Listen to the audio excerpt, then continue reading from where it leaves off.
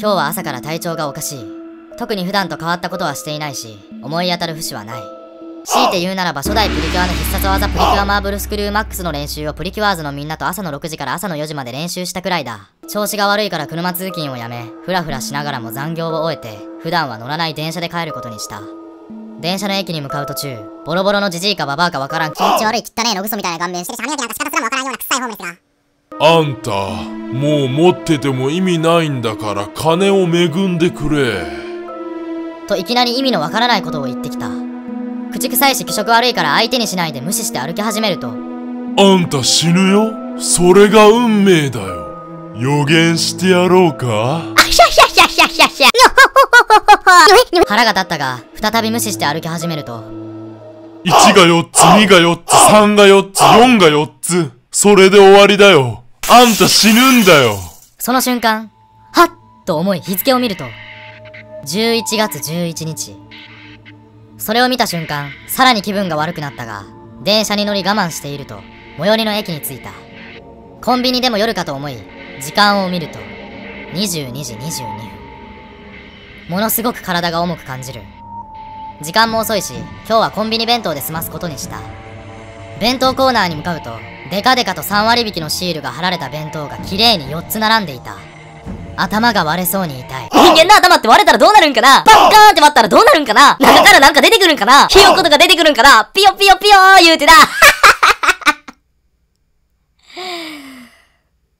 ごめんなさい。俺はむしゃくしゃして弁当と大量のつまみをカゴに入れ、ふらふらになりながらレジに並んで会計を待つ。承継が上がるごとに、心臓の音がどんどんどんどん激しくなる。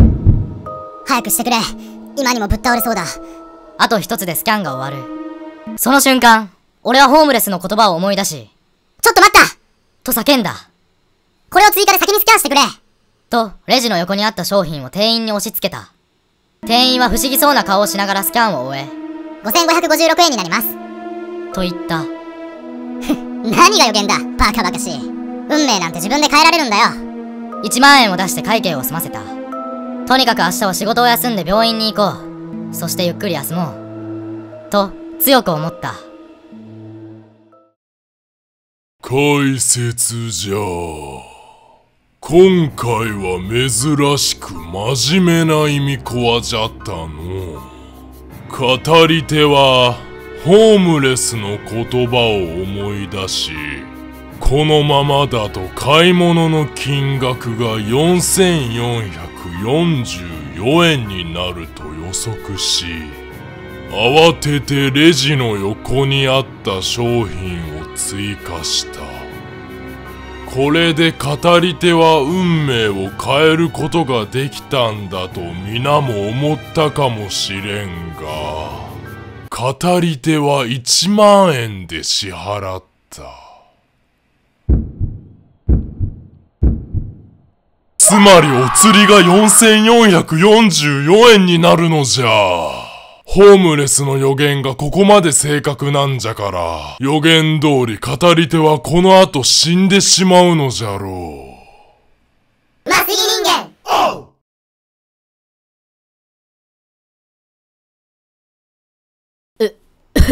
おえ。だ、ダメだ。語り手は目の前が真っ暗になった。君、大丈夫かい？愛数の仲間を助けに来たよ。プ、プリキュアーズのみんなええ強いて言うならば初代プリキュアの必殺技プリキュアマーブルスキル。電車の駅に向かう途中、ボロボロのジジイかババアかわからん気持ち悪い汚ねえのぐそみたいな顔面してるし、はぎ。ジジイかババアかわからん気持ち悪い汚ねえのぐそみたいな顔面してるし、歯磨きなんかした、仕方、歯磨きなんか仕方すらもわからん。